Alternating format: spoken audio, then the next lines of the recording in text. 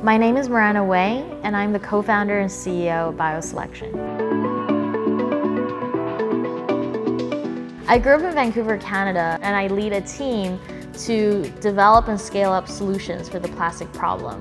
We turn dirty plastics that are not recyclable today and are polluting our landfills and oceans into valuable chemicals. Most people believe that as long as we put recyclables into the blue bin, that everything gets recycled.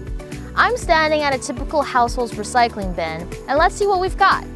So there's some cardboard, bubble wrap, and also plastic bags.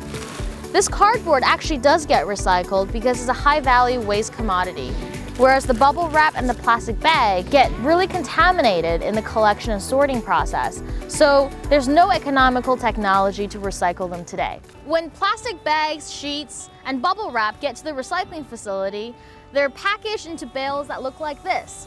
But because these plastics are contaminated, there's currently no market for them. We urgently need economical means to recycle this type of plastic. So here we have Ziploc bags, produce bags, and grocery bags.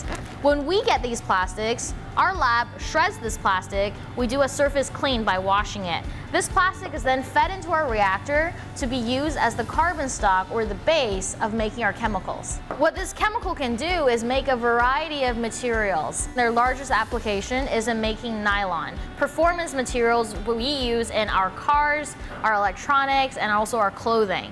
Winning the Young Champions of the Earth Award means getting on the radar of environmental leaders from around the world so that we can bring our technology to places that really need it.